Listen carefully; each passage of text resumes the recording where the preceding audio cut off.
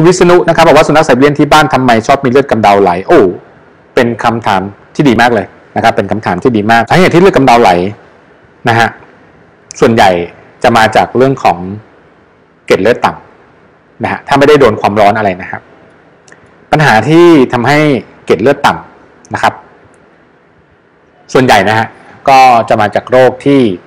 คุ้นเคยกันดีก็คือที่หมอโชว์อยู่ก็คือพวกโรคพยาธิเม็ดเลือดนะครับ ดูดูตัวแรกเลยนะครับ ตัวแรกคือตัวอีเคนิสนะฮะตัวอีเคนิสตัวนี้เนี่ยพาหะคือเห็ดนะครับจะเพราะว่ามันมีเลือดกำเดาไหลนะฮะ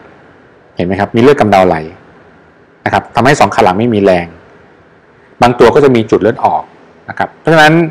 คงต้องไปตรวจครับว่าปัญหาของเลือดกำเดาไหลเนี่ยเป็นเพราะอะไร แต่ถ้าให้หมอเดาจากอาการตอนนี้เป็นพยาธิเม็ดเลือดหรือเปล่านะครับ แล้วทำให้มีเกล็ดเลือดต่ำพอมีเกล็ดเลือดต่ำปั๊บ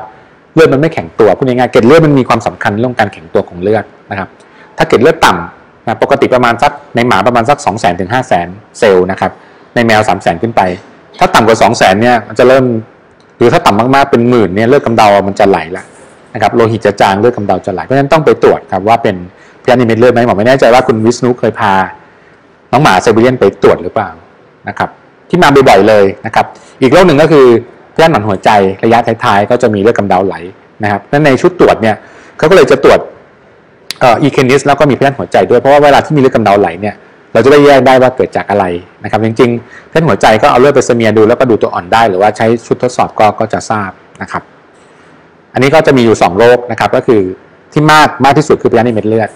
ที่เป็นได้อีกโรคหนึ่งก็คือพยาธิหัวใจนะครับ